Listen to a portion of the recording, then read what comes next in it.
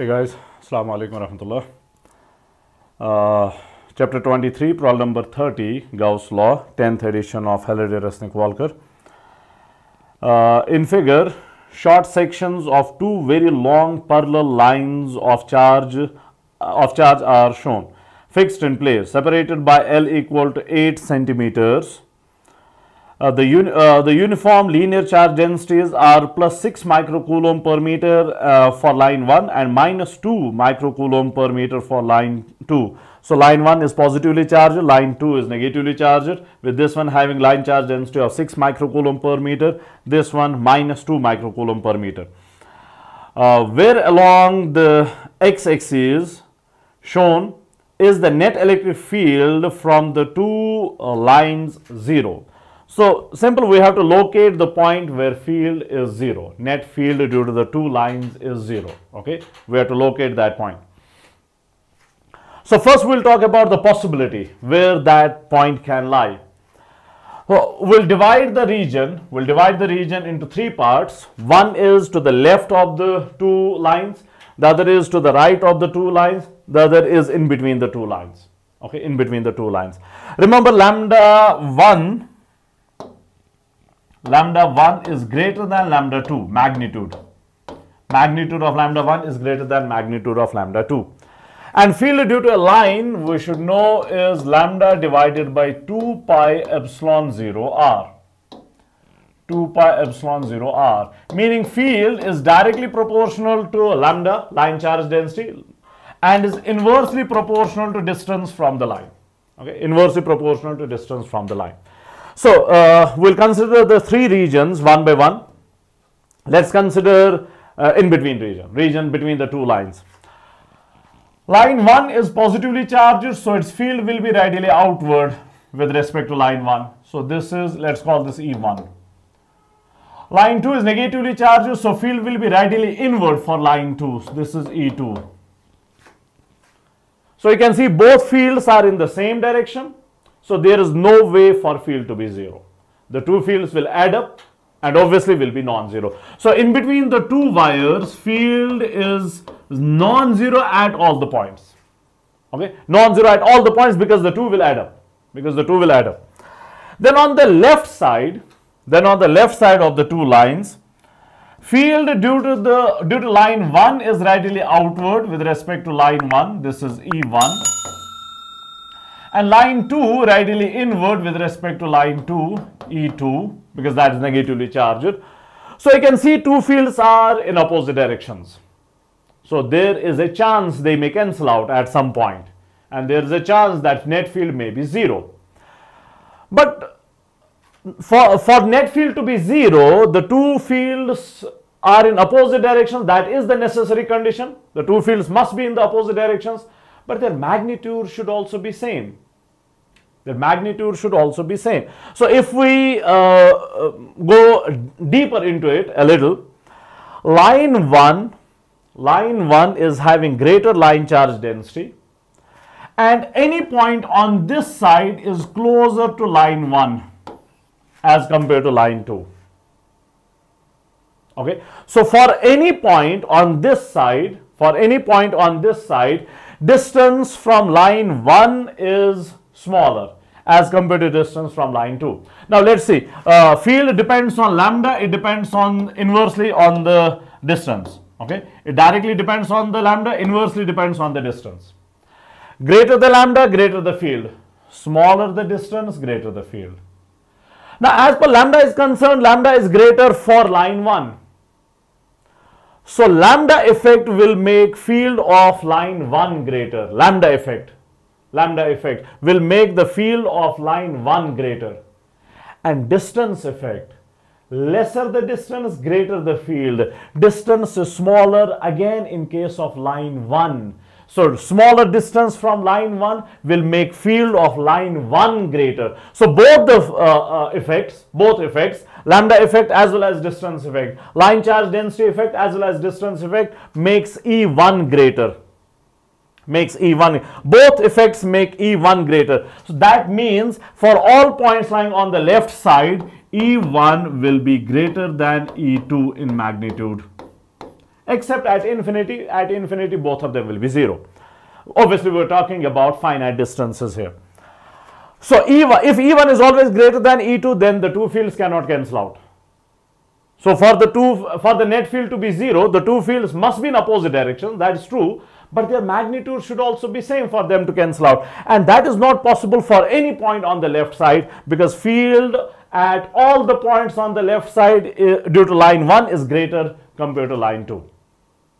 So, field cannot be 0 on the left side.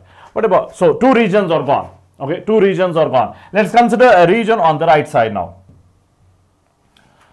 Now, field due to line 1 is radially outward. So, E1 is rightward, radially outward. And due to line 2 is radially inward, E2. So, again in opposite directions. So, there is a chance. But the magnitude should also be same. Magnitude should also be same. Let's consider again the lambda effect and the distance effect. What about the lambda effect? Lambda effect makes field of line 1 greater because lambda 1 is greater. Okay. So, lambda effect makes field 1 greater compared to field 2 in magnitude. Okay. But then the distance effect. For any point on the right side, distance from line 2 is smaller distance from we have a point here distance from line 2 is smaller. Okay distance from line 2 is smaller. So uh, distance if distance from line 2 is smaller then field due to line 2 will be greater because of this effect distance effect. So lambda effect is making e1 greater and lambda r effect is making e2 greater. Again lambda is greater for line 1 so lambda effect makes e1 greater Distance is smaller for line 2, so distance effect makes E2 greater. So one effect is making E1 greater, the other effect is making E2 greater. There is a chance that the two effects may balance at some point and the two fields may be same in magnitude.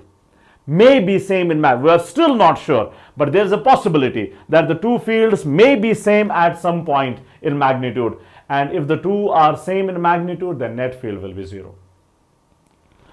So now there is only one region that is the right side of the two lines where field can be 0 at some point. Okay, field can be 0. Now let's try to locate that point now. Now I have given some data here. Let's suppose uh, this is point P. Let's consider it here. This is point P where field is 0, net field is 0 and this point is at a distance of x from line 2 okay from line 2 the line which is having smaller uh, charge density. Field will be all if the two lines are unlike the one is positively charged the other is negatively charged then the net field is zero always on the side of the smaller charge density okay on the side of the smaller charge density. Fine. Now uh, field due to 1 is rightward e1 field due to 2 is uh, leftward e2 because that is negatively charged for net field to be 0, for net field to be 0, E1 must be same as E2 in magnitude. Now E1 is lambda 1 divided by 2 pi epsilon 0, 2 pi epsilon 0 distance. From this point to this point distance is L and then from this point to this point distance is x. So L plus x total distance is L plus x. Is equal to lambda 2 divided by 2 pi epsilon 0 lambda 2 for line 2 just the magnitude. So this magnitude of lambda 1 this magnitude of lambda 2 and then the distance from line 2 is just x. Just x. If you uh, consider distance of point from this point which is uh, the origin you take uh, x from this point to this point here origin to the point then distance from line 1 will be L by 2 plus x and distance from line 2 will be L uh, x minus L by 2 x minus L by 2 minus L by 2 this part this part here.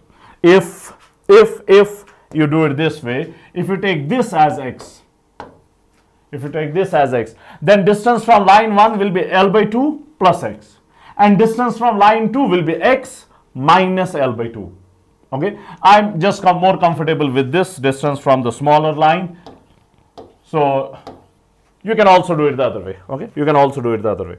Now let's see what cancels out here. 2 pi epsilon 0, 2 pi epsilon 0 cancels out. So this implies modulus of lambda 1 divided by modulus of lambda 2 is equal to L plus x upstairs. L plus x divided by x. I'll divide x uh, separately. So this becomes L divided by x plus x by x is 1. Okay, x by x is 1. So this implies I'll shift 1 to this side. Lambda 1 divided by lambda 2 minus 1 is equal to L divided by x.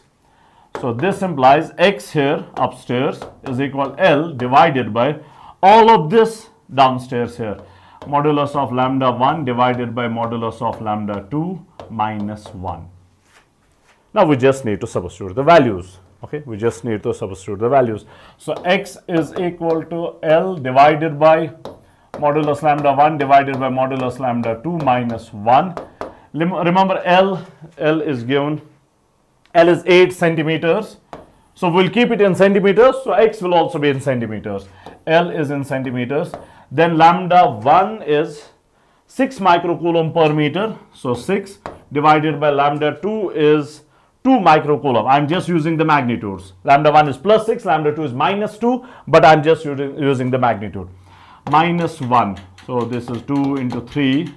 3 minus 1 is 2. 8 divided by 2 is 4. 4 centimeters. So this point where field is 0, where field is 0, is at a distance of 4 centimeters from the negative line, from line 2, which is having smaller line charge density field is 0 always on the side of the smaller line charge density. If the two lines are unlike one is positive the other is negative. Okay?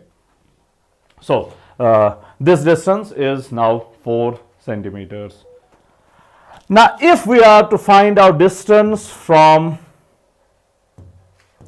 from this point from the origin this distance let's call this x prime then that x prime is L by 2 plus x. Okay, L by 2 plus x. So distance from the origin, okay, distance from the origin,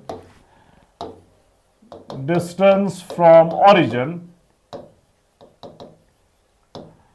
x prime is equal L by 2 plus x.